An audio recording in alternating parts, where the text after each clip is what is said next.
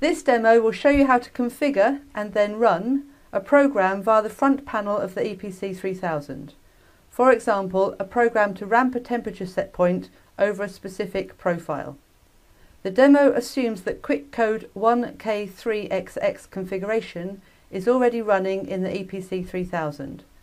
Therefore, the wiring between the PID and program function blocks already exists. The demo will show how to create a program to step change the temperature set point to 66 and set an event output to true, dwell for 35 seconds and then ramp the set point to 33. If you press the page button, you will see the program list. Press the scroll button to see the program number and change it if necessary. And keep pressing scroll to see the programmer settings, for example, program mode, the event status and the advance. Scroll will continue to scroll around those. The screenshot shows you iTools to help you recognise the parameter menu that you're in. Level 1 access allows only read access to these parameters.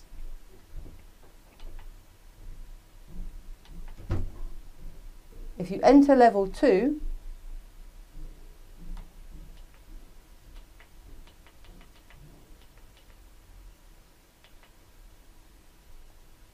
and then press the page button, you'll have um, read-write access to these parameters and you'll be able to see the other parameters as well for the setpoint programmer, for the editor features. If you press the page button again, you'll now see pset list and if you scroll through those,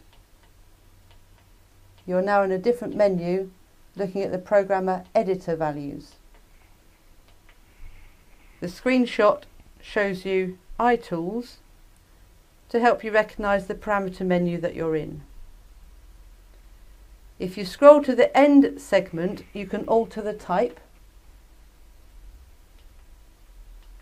And by altering the type, you will insert a new segment.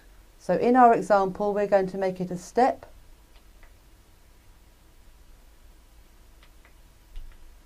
Set it to 66 for our example and make the event output true. If you scroll again to the next segment and change the end type, in this case to dwell, We can set this to our 35 seconds for our example. And again, if you scroll to the next segment, you can change the type, in this case to a rate, and we're going to put it to 33.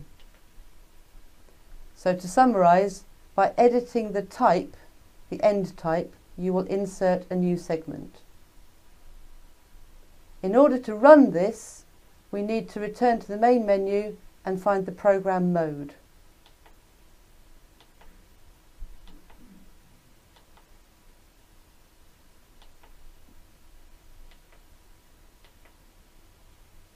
And set that to run. You will notice a diagonal line or a straight line depending whether you are in dwell or ramp. The line will flash when the program completes.